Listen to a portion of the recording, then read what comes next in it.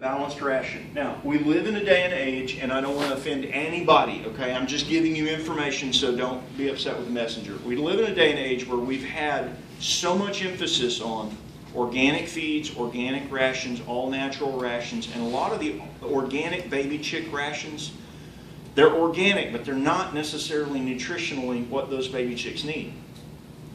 Um, I, I had one particular customer that bought sunflower seeds because he heard that sunflower seeds were you know, had great nutrition and great protein, and he was just grinding them himself, and he was putting them into the feed ration to feed his baby chicks.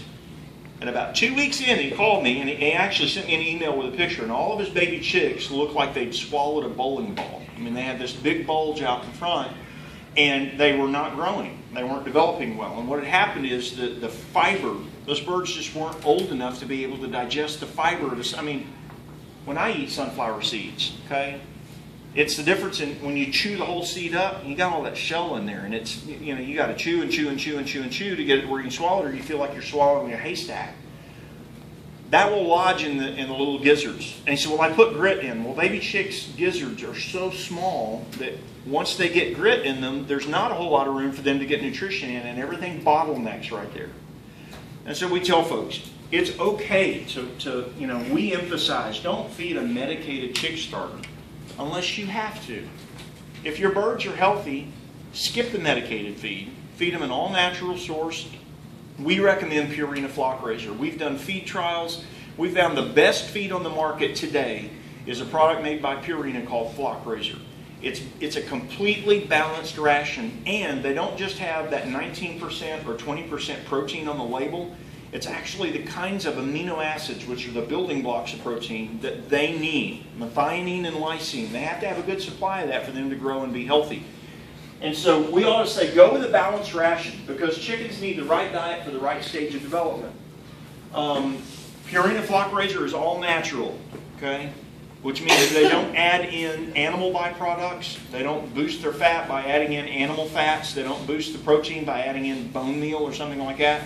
And not that there's anything wrong with that, but what they do is they use plant proteins. And the biggest thing that we noticed was we took, uh, we took birds, we took 150 Rhode Island red baby chicks, divided them into five pens, okay? And we fed five different rations. By 12 weeks of age, the ones that were on Purina Flock Raiser, and by the way, I don't work for Purina and I'm not advertising their product. I just know what works. The ones that were on Purina Flock Raiser didn't look like they were even related to the other four pens. Their feathers were, were, were more mature for, for the same age group. Uh, they were larger in stature. Uh, the color on their feathers was vibrant and deep and rich. We had some that uh, we went with a lesser expensive ration. We had those birds weren't even completely feathered. Their feathers were dull. Uh, the feathers were very brittle. They, they, they broke a lot just with regular activity. Get a good balanced ration that's specifically meant for the dietary need of that age group. Okay? And you'll have a lot less problems with them. Okay? Um, if you buy organic baby chick feed, really pay close attention to the nutrition label. Even if you take it and compare it to the Purina Flock Raiser label to make sure that you're getting a, a comparable product.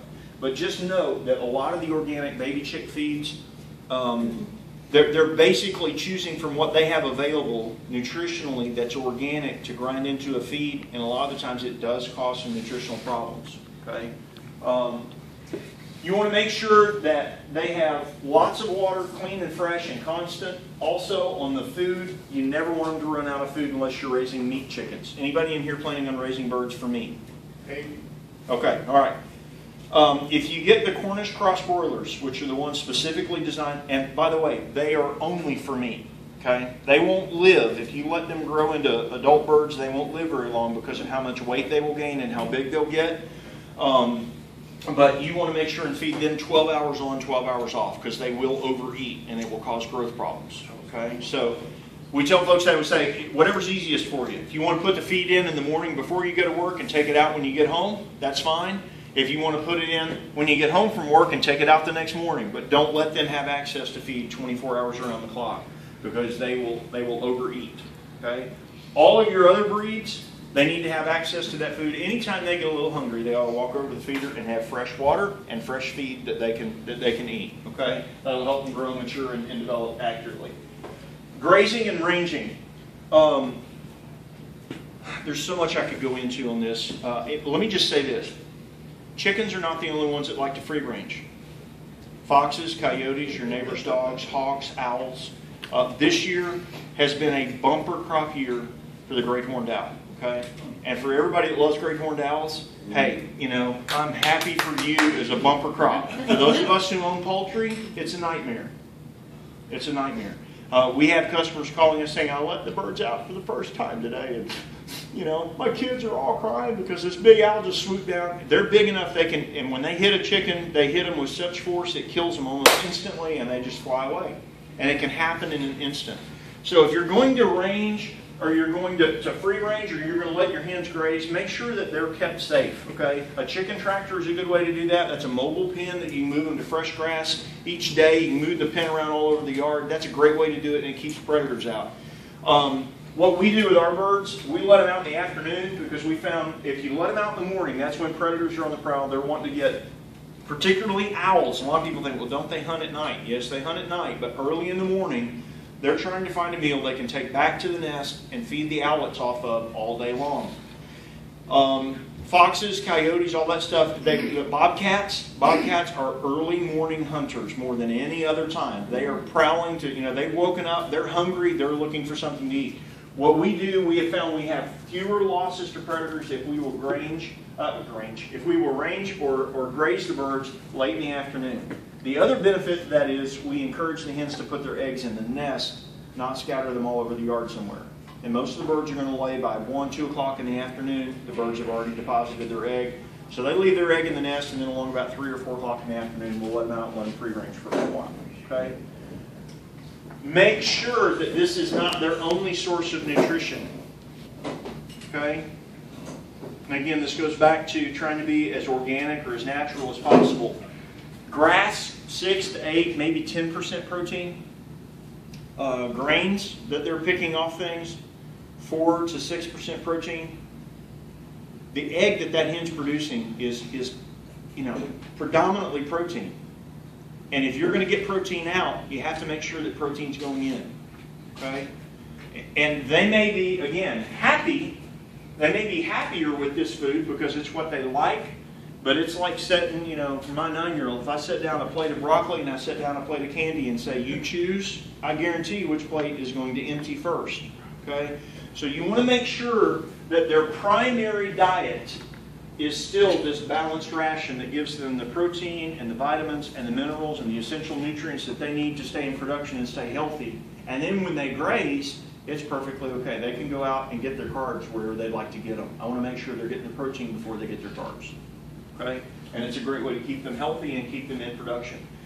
Grains and fruit. We've sold, um, every year we sell, because we run a hatchery, every year we sell our one-year-old hens okay, because we're raising their replacements. By year two, the eggs get too large to fit in our incubators. We end up losing a lot of capacity. We also have a higher instance of double yolked eggs which don't hatch well. So we'll sell our yearling hens. They're in full production at the time we sell them. People will buy them, they'll get them home, and about six weeks later, I'll get a call and I say, they've stopped laying. and it's well past the point in time that they would have already acclimated to their new environment. The first question I ask is, what are you feeding them? Well, I'm buying scratch grain down at the co-op. Okay, what else are you feeding? Oh, nothing. Well, scratch grains are going to have 6 to 8% protein. They need 16% protein in their dietary ration in order to produce eggs on a regular basis. So if you're only feeding them 6 to 8% protein, you may only get one egg a week or one egg every two weeks versus if you're feeding them the protein they need, you're going to be getting that, you know, four to five eggs a week out of them. Okay? So there are some fruits that have high pectin levels, and the pectin, when they digest it, mimics the hormone that will cause them to go broody and they'll stop laying. So you can give them table scraps and you can give them treats. You want to be really careful about what kind of fruits you give them. Okay? Uh, bananas, they love bananas, and bananas don't cause any problem. Pears, peaches, apples, apple peelings, and it affects some breeds more than others, some birds within a breed more than others. But just note, if you just given your birds a big treat of fruit and all of a sudden your egg production stops, just make a little note, okay, no more of that particular type of fruit for them, okay? Because it will stop production. Yes? I was gonna say, I have like